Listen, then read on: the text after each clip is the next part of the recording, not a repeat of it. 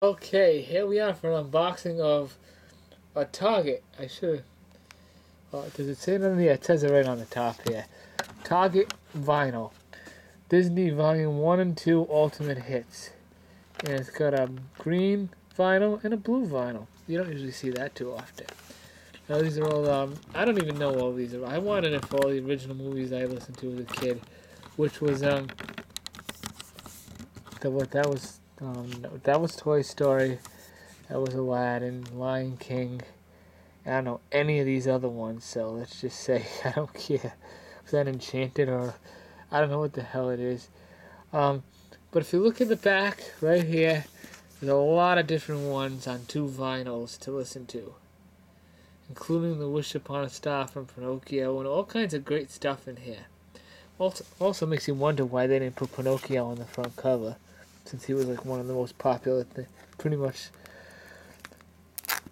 the most unpopular thing. Now it's a little bent over there, and the reason why is because um somebody at Target was an animal with the vinyls.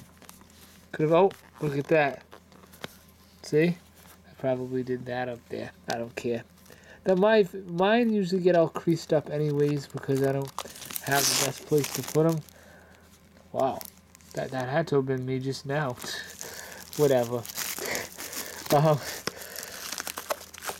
let's just say that. Okay, so we're gonna open this up. What do we see?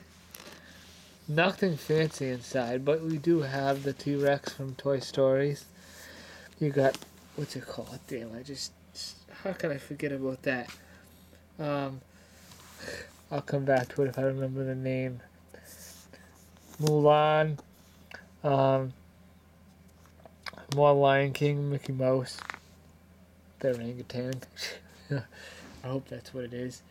I'm trying to think. Um, whatever. Just my mind's been shot the last couple of days. Okay, here's the regular, right there. Now there's nothing else. I thought there would have been a little more creativity on the outer boxing, but now that everything's, you know, a different way, you don't really get that. This is, no, we'll start with the first one over here. See what it, oh man. Wow, don't tell me it's just, oh, it's not jammed in there good. Tough to get out though. Okay, here we go. Doesn't really have a great sleeve, but look at that we got the blue. And it's not just blue, it's like a tie-dye kind of blue because you can see it all over the specks of white and stuff like that. Which I think that's pretty cool. They did, they did a pretty good job on this. You don't see that a lot of, quite often anymore. Um, unless you spend more, way more money than like a $25 fee. So you're going to put this back into the thing. See how easy it is to put back. Sometimes it's very difficult you don't put it in exactly the right way, it won't fit. Um, no, that one went in pretty fine. Now we get to the second one. The next one will be green. Yep. Take this out. Show you. Yeah, there is no splatter or tie-dye type of look. It's just a plain green that kind of looks like vomit a little. I hate to say that. I'm not trying to mention that, but it's the truth. And another thing that's really cheap about Disney is the way they put everything onto the um the vinyls. Like it's kind of really cheaply made and printed on. You know, for a huge company like them that gets bailed out every time something happens to them, you think they would um.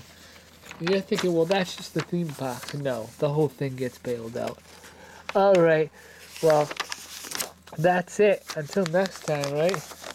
I guess so. It's gonna kind of put everything away here, and um, we'll see what happens.